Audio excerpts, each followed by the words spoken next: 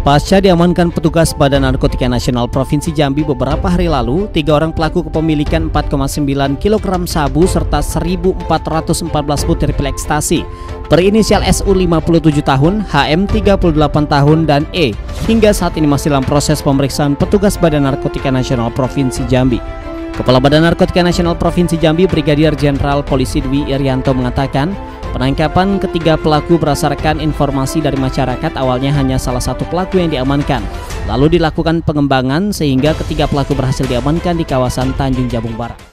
Untuk sementara kita apa e, prediksi ini jaringan lapas. Ya, karena si pelaku ini anak dari ibu ini, ibu ini bagaimana?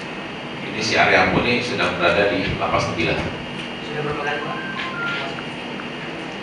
ini belum kita lakukan pemeriksaan kalau untuk hari belum kita lakukan pemeriksaan mungkin nanti kalau misalkan kita sudah ke sana melakukan pemeriksaan itu mungkin bisa tahu berapa kali dia dan boleh jadi dia bukan hanya di sini mungkin tempat-tempat lain juga Brigadir Jenderal Polisi Dwi Irianto menambahkan bahwa ketiga pelaku merupakan satu rangkaian dari jaringan lapas tembilahan.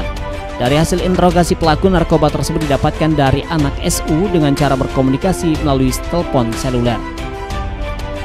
Solehan Chow, Jambi TV.